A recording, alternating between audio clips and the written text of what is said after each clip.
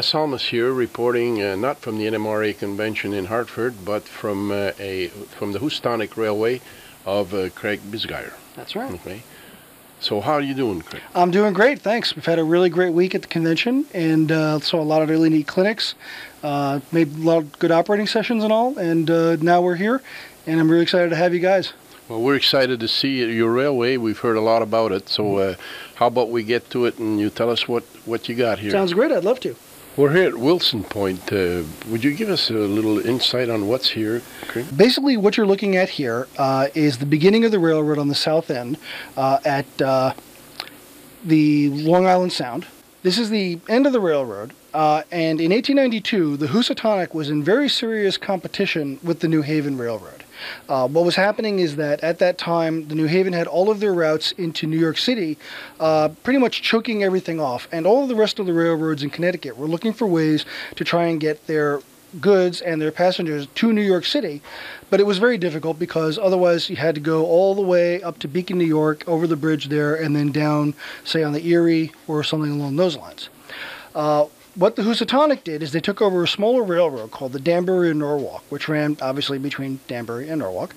Uh, absolutely. And uh, what they did is instead of going on their original main line, which ran from uh, Pittsfield, Massachusetts, through Danbury, and then to um, Bridgeport, Connecticut, uh, now they had direct access to a much closer port to New York City, and they started using this as their main line. And what they did was they ran all of their um, southbound traffic that was going that way down here to Wilson Point, where they built this very large uh, rail marine terminal.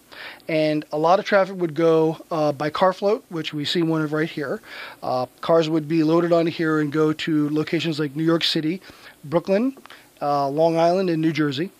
Uh, and also, there were ferries that would come up and uh, dock up here next to the the, the, the, pier, and they would uh, be loaded and uh, unloaded depending on what was going on. There were bulk stuff that came up.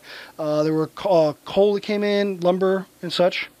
Uh, so there was a lot of traffic that ran through here. And uh, what happened was, sorry. No, it's okay. what happened was, in 1892, the Housatonic was fight, like I said, fighting with the New Haven, mm-hmm. and they eventually were taken over by the New Haven in July of 1892, and that was when this whole area was basically completely shut down. Okay. Well, actually, you're modeling this here. I'm looking at this amazing wharf. You got how much wood have you got in there? Well, it's hard to say. Uh, basically, it's it's all basswood, uh, which was all cut from very large chunks of it on my table saw. We came and we made all the strip wood. Uh, the dowels that uh, make up the pilings, there's 2,400 of them, mostly put in by my friend David Ramos. Uh, it took about five months to build everything that you see here, from the pilings to the caps that go on top of them. Uh, the pier is actually made from eighth-inch plywood that's strung underneath it for strength, and then decked with uh, styro- uh, sorry uh, basswood strips. Basswood strips. Mm-hmm. Boy.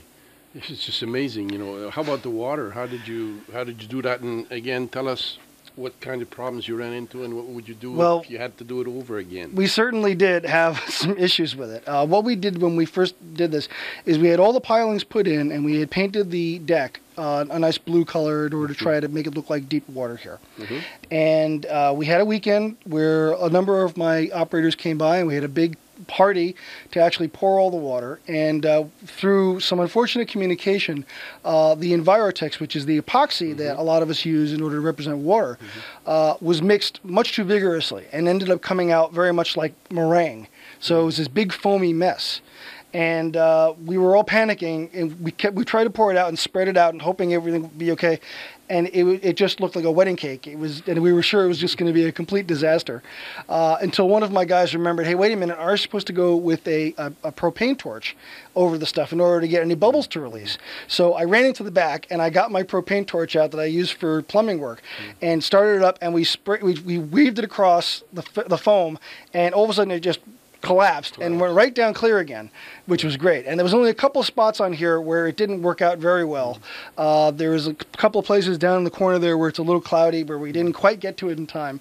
But other than that, it ended up working out pretty well. The other big problem that happened is that once the Envirotex had dried, uh, it was this very large expanse, and it was clear as a bell, flat, and you could see the reflection of all the lights, and that was just you know, That that just couldn't work. Yeah, we couldn't work that. So we ended up coming back with it, and uh, we used a combination of uh, gloss medium gel and gloss medium liquid that we mixed together, and then stippled on with paintbrushes Mm-hmm. in order to get the wavy texture in the water. And I'm very happy with the way that that came out finally. Well, it looks great from, from my vantage anyway, and we're, we're looking here and it's still amazed at the size of this thing, and it's real great. Yeah, It's about 14 feet long and about three feet wide at its widest point. Amazing. Craig, this has been a real treat, you know. Thank you very much for having us. And the Housatonic Railway is just great. Well, thank you. It's really very kind of you to say so. It's been great having you guys here. And on behalf of myself and my construction crew of guys who have put endless hours of work into this, thank you very much.